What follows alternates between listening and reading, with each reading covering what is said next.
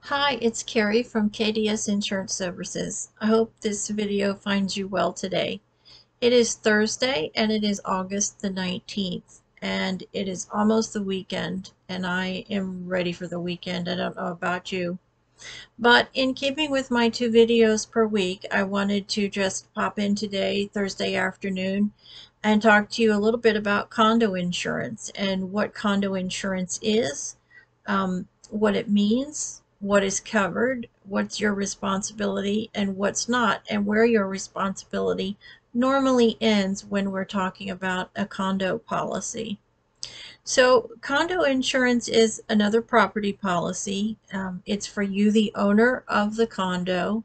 And generally speaking, in a condo policy, your responsibility ends at wall in, meaning you have a condo and there's normally multiple multiple buildings and there's normally two or three or more in a condo complex. And so the actual shell of the building is generally covered by another policy by the condo association.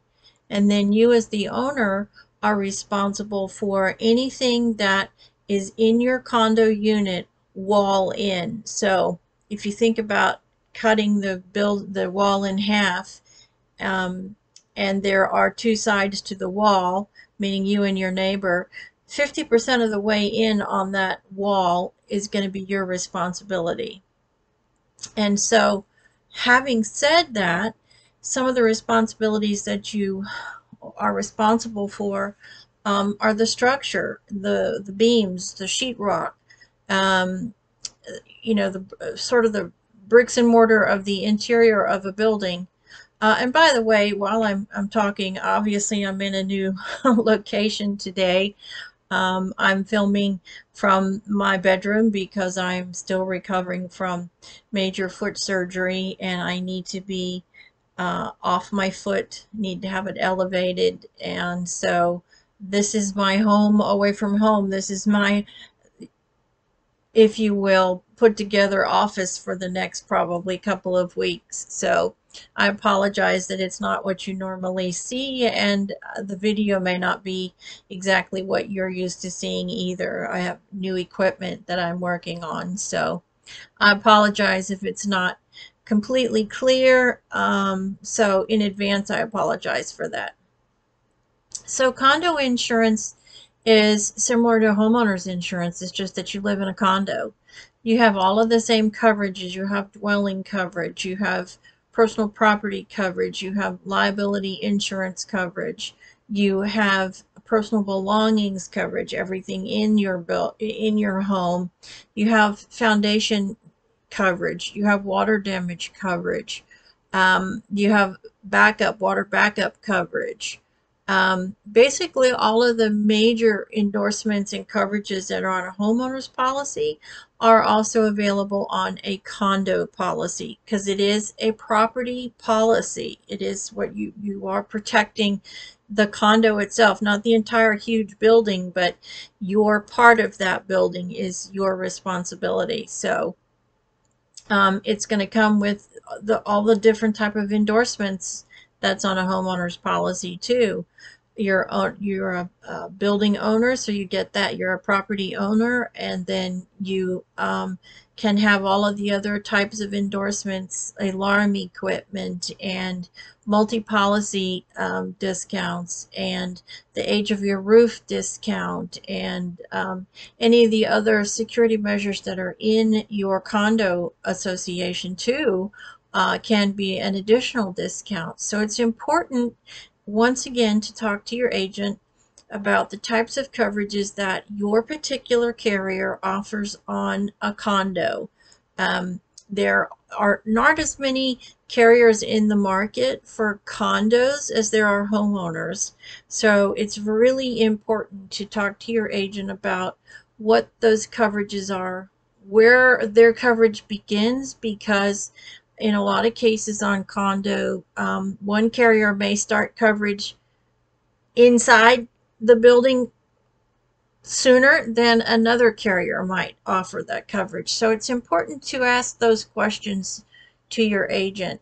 It's important to also ask about the different the the discount levels that are available, um, and the exclusions that your particular carrier has for a condo policy. So it is very similar to a home. It's just a different type of home. You own and occupy the property, and so therefore you have to have what we call homeowners insurance, but it's titled differently because of the type of property and it's called condo condo insurance. So make sure you talk to your agent, ask all the appropriate questions, and um, make sure you're dealing with somebody that's licensed. We've talked about that numerous times. And that's condo insurance. It's it's pretty much the same as a homeowner. It's just a different type of coverage where your um, responsibility lies based upon the actual structure of the building and what your where your carrier coverage begins. So that's a that's the biggest question when you're talking to your agent about condo insurance.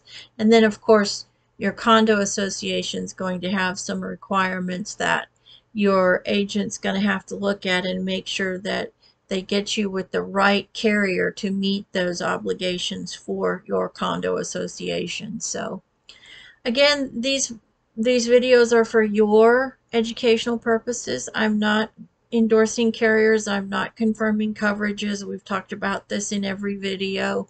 Um, this is for your educational purposes so you understand what you do or you don't have.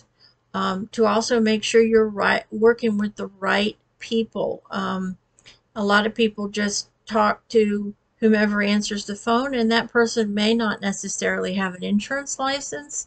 And so it's an important question to always ask always ask when you call your agent's office. Don't it, it's not a rude question. It's just a question you need to ask as a insured that you're dealing with somebody who is licensed and understands the coverages because somebody who's not licensed shouldn't be answering coverage questions, period.